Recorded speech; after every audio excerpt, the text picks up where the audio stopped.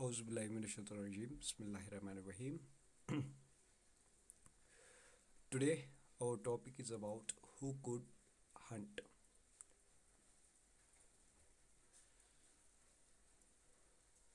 कौन शिकार कर सकता है या कर सकता था The new forest laws changed the lives of forest dwellers in yet another way. Before the forest laws, many pe- people who lived in or near forests had survived by hunting deer and variety of small animals.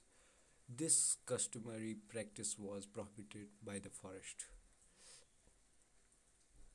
जो भी नए forest laws थे उन्होंने असर किया किनकी ज़िंदगी पे फॉरेस्ट डेवलपर्स पे जो फॉरेस्ट डेवलपर्स थे जो भी नए लॉज आए उन्होंने चेंज किया फॉरेस्ट डेवलपर्स की लाइफ को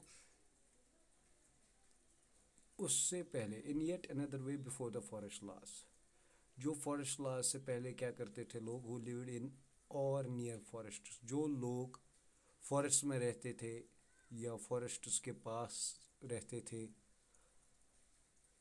वो क्या करते थे? Had survived by hunting deer and variety of small animals वो क्या करते थे? वो शिकार करते थे डियर का या जितने भी एनिमल्स थे, छोटे एनिमल्स थे, उनका शिकार करते थे, उनको यूज़ करते थे एज फॉर फ़ूड तो इस कस्टमरी प्रैक्टिस को this customary practice was prohibited by the forest laws ये जो कस्टमरी प्रैक्टिस इन, ये लोग कर रहे थे फॉरेस्ट में, इनको प्रोहिबिट किया, इनको रोका गया कि इन्होंने फॉरेस्ट लॉज ने। नए फॉरेस्ट लॉज बन गए उनको उन, उनकी वजह से जितने भी ये फॉरेस्ट डेवलपर्स थे जितने भी फॉरेस्ट के अंदर रहते थे या उनके पास में रहते थे सर्वाइव करते थे किसकी वजह से? ये डियर हंट करते थे या जितने भी स्मॉल एनिमल्स वहाँ पे फॉरेस्ट में थे जिनका ज़रिया बनता था फ़ूड का तो उनको वो मार देते थे हंट करते थे उनका शिकार करते थे।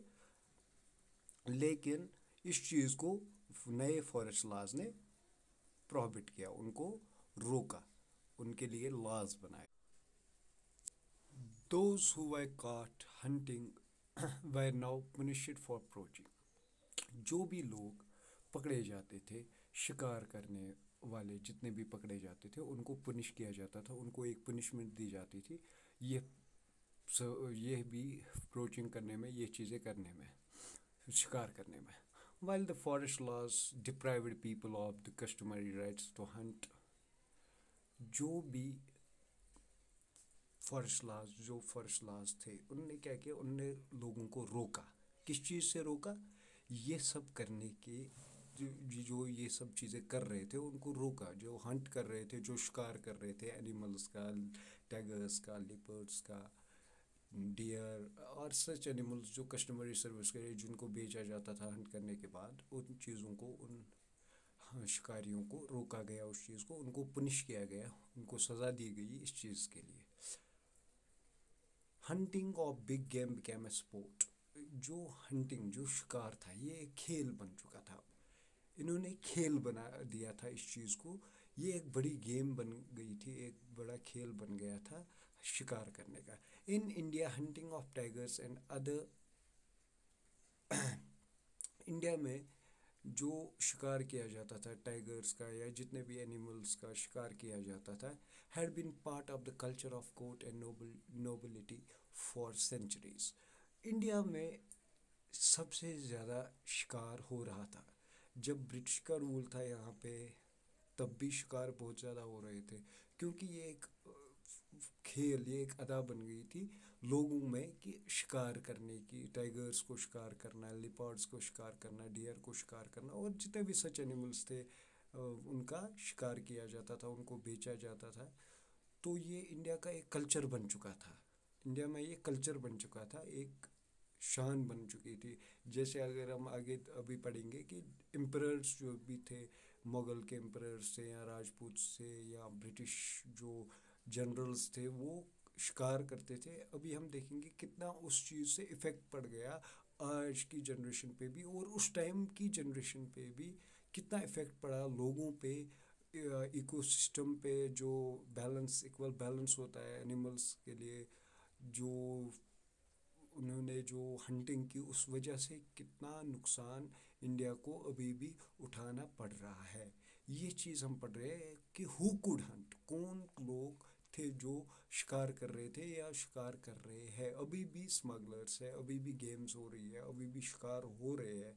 हमारे अगर हम इंडिया की बात करें या साउथ अफ्रीका की बात करें या हम ऑस्ट्रेलिया की बात करें डेंस फॉरेस्ट जहाँ जहाँ पे भी है, वहाँ पे अभी भी कहीं जगह पे शिकार हो रहा है। लेकिन फॉरेस्टर्स ने जब ला बनाए, उससे पहले क्या करते थे, जो भी नियर बाय रहते थे लोग जितने भी फॉरेस्ट के नियर बाय रहते थे या फॉरेस्ट के अंदर रहते थे, वो क्या करते थे? शिकार कर रहे थे कस्टमरी सर्विस कर रहे थे, बेचे जाते थे वो डियर को लिपर्ड्स को टाइगर्स को, उनके मांस को, उनके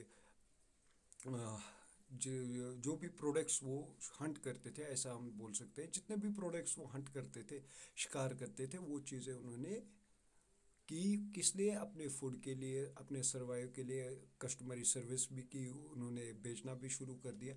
तो जब नए फॉरेस्ट ला आ गए तो उन्होंने क्या किया? उन्होंने पुनिश किया। जो भी प्रोचिंग कर रहे थे, जिनको भी पकड़ा जाता था, शिकार कर, जो भी शिकार कर रहे थे, जिनको पकड़ा जाता था, उनको पुनिशमेंट मिल जाती थी।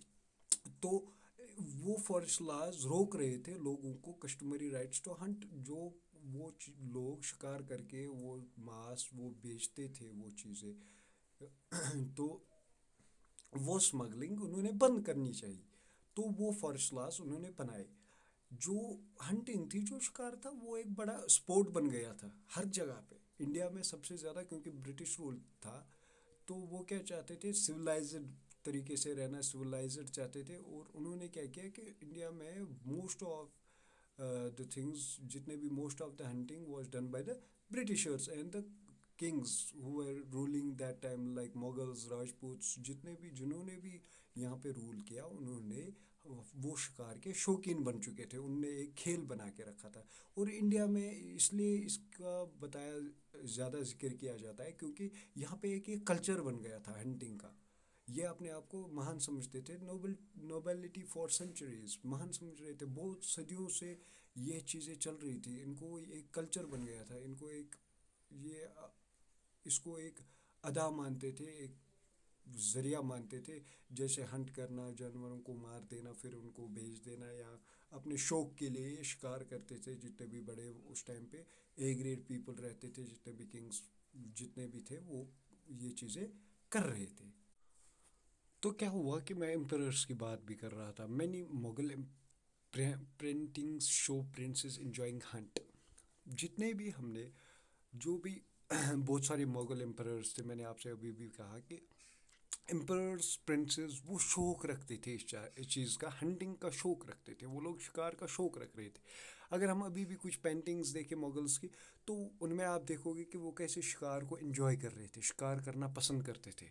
But under colonial rule the scale of hunting increase लेकिन जब ब्रिटिश का रूल आया कॉलोनियल रूल आया तो उन्होंने क्या किया कि उनके ज़माने में, उनके वक्त में जब वो यहाँ पे रूल कर रहे थे about one hundred ninety years और टू हंड्रेड ईयर्स उन्होंने यहाँ पे रूल किया तो जो स्केल था, जो ये इंक्रीजिंग स्केल उनका हो गया कि हंटिंग शिकार करना ज़्यादा ही पसंद आ गया लोगों को। वो लोग शिकार कर रहे थे, ज़्यादा शिकार कर रहे थे, ज़्यादा से ज़्यादा शिकार होने लगे इंक्रीज़ होने लगा। अगर ये स्केल फॉर एग्ज़ाम्पल अगर फाइव परसेंट था टेन परसेंट हो गया टेन से फिफ्टीन हो गया फिफ्टीन से ट्वेंटी हो गया तो day by day it was increasing तो कॉलोनियल रूल में ये चीज़ें इंक्रीज़ हो रही थी, जो शिकार हो रहे थे, वो ज़्यादा हो रहे थे। तो क्या हुआ उस चीज़ से कि हम उस टाइम में देखा जा सकता था कि जो वेरियस काइंड के स्पेशीज़ थे, वो तो ऑलमोस्ट ख़त्म ही हो गए। उनका वजूद ही ख़त्म हो गया। उन, जो कुछ एनिमल्स थे, कुछ कुछ स्पेशीज़ थे, उनका वजूद ही ख़त्म हो गया उस दौरान कॉलोनियल रूल के दौरान। क्योंकि ज़्यादा से ज़्यादा शिकार हो रहे थे। The British saw large animals a signs of a wild जो ब्रिटिश ब्रिटिशर्स थे उन्होंने क्या देखा, उनने बहुत सारे जानवर जो थे उन्होंने साइन कर दिया कि खोखार है wild wild animals they are we can say they are threat to the people they are threat to the human beings तो उनने उनको वाइल्ड करार दिया। वाइल्ड घोषित कर दिया। इस वजह से क्या हो गया कि इंक्रीज प्रिमिटिव और सिविल सोसाइटी आ गई। तो क्या हो रहा था कि मुगल ऑलरेडी एम्पर जो थे पहले से ही इंडिया में जो रूल कर रहे थे, वो तो हंटिंग कर रहे थे। वो हंटिंग कर रहे थे, लेकिन वो शो कर रहे थे। शो ऑफ़ कर रहे थे, एक किस्म से कि हम, कोई टाइगर को मारने जाता था, कोई लॉइन को मारने जाता था, कोई लिपर्ड को मारने जाता था, कोई डियर को मारने जाता था। दैट मीन्स वो अपनी बहादुरी दिखा रहे थे। लेकिन क्या, जब ब्रिटिशर्स यहाँ पे आए रूल करने के लिए तो ये स्किल इंक्रीज हो गया। अब तो शिकार करना आसान हो रहा था उनके लिए और शिकार ज़्यादा से ज़्यादा हो रहे थे। तो आधे से ज़्यादा स्पेशीज इंडिया में ऑलमोस्ट ख़त्म ही हो चुके थे। ख़त्म ही हो चुके थे ब्रिटिश की वजह से, ब्रिटिशर्स की वजह से, उनके रूल की वजह क्या हुआ कि जो ब्रिटिशर्स थे इंक्रीज़ हुआ स्केल हमने देखा कि शिकार करना इंक्रीज़ हो गया। तो क्या हो गया? ब्रिटिशर्स ने काम किया। They believe that by killing dangerous animals the British would civilise India मैंने आपसे पहले ही कहा, उनने क्या किया? कि उनने कहा, अगर हम किल करवाएँगे डेंजरस एनिमल्स को किल करेंगे तो ब्रिटिशर्स ईज़िली सिविलाइज कर सकते हैं इंडिया को। एक अच्छी जगह बना सकते हैं इंडिया को। वाइल्ड लाइफ सेंचुरी उन्होंने ख़त्म कर दी इंडिया में। बहुत ज़्यादा इंक्रीज होने लगा शिकार का। तो उन्होंने अब नया तरीका आजमाया ब्रिटिशर्स ने। उनने काम किया कि उनने रिवार्ड्स देने शुरू किए। इनामत दिए। उनने किलिंग टाइगर्स के लिए या वोल्वस के लिए जितने भी बड़े जानवर थे उनके लिए रिवार्ड्स रखा, जो जो उनको हंट करेगा, जो जो उनका शिकार करेगा, मार देगा, उनके लिए उन्होंने एक प्रॉपर तरीके से एक इनामत रख दिए उनने एक रिवार्ड रख दिया। तो उससे और कैसे ये चीज़ की उन्होंने, उनने ये चीज़ इस तरीके से की कि उनने बोला कि कल्टीवेयर्स के लिए ये जो उगाते हैं फ़ूड फ़ूड उगाते हैं, खेती करते हैं, उनके लिए ये डेंजरस साबित हो सकते हैं, ये इनके लिए नुकसानदेह साबित हो सकते हैं तो आप इनको किल करो, हम आपको रिवार्ड देंगे। अब हम क्या देखेंगे कि जब ब्रिटिशर्स के बारे में मैंने बात की, आपको उन्होंने रिवार्ड देना शुरू कर दिया जो जो जितने मारेंगे तो कितना डैमेज हुआ, आप खुद देखो और खुद कैलकुलेट करो, कितने स्पेशीज़ टोटल में किल हुए हैं। ब्रिटिशर्स रूल में।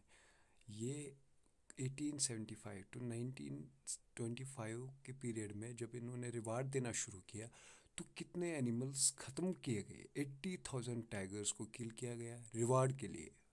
आप ये ध्यान में रखो रिवार्ड के लिए eighty thousand tigers they killed one lakh fifty thousand leopards they killed and two lakh wolves they killed for reward in the period.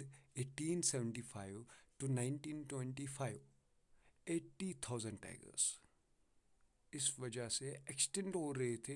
आप देखो जो एक्सटेंट हो गए जो ख़त्म ही हो गए तो वो कितने मारे गए होंगे? तो एग्जैक्ट फिगर नहीं है।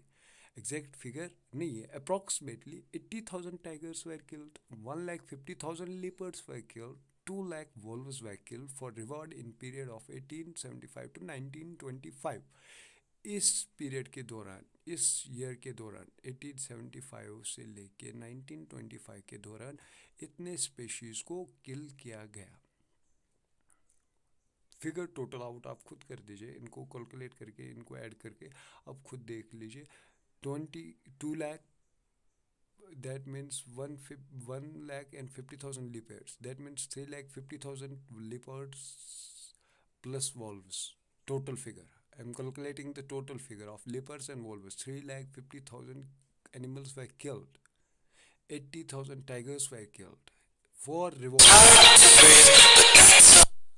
Only for reward. Only for reward. So this uh, this is all about who could hunt. Tomorrow we have to, to study, but you have you have to read it carefully. You have to take your te- textbook.